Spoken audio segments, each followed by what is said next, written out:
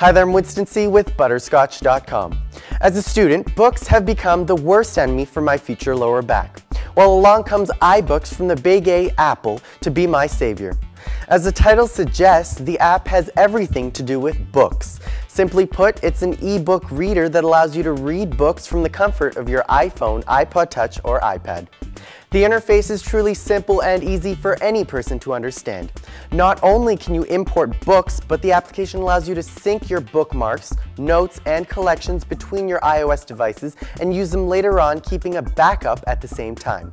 You can download books through the in-app store, including bestsellers and a wide assortment of free choices. For paid books, a Get Sample feature is available, and you can read a bit of the book to see if it really fits your taste. You can adjust your brightness, font type, and font size so it's perfect for your liking. Apart from the books themselves, you can change the settings for PDFs, allowing you to view them right on your iPhone without installing any other PDF readers. For you digital bookworms out there, this is a must-have app. It is free for download at mobile.butterscotch.com, and for full show notes on this app, head over to butterscotch.com.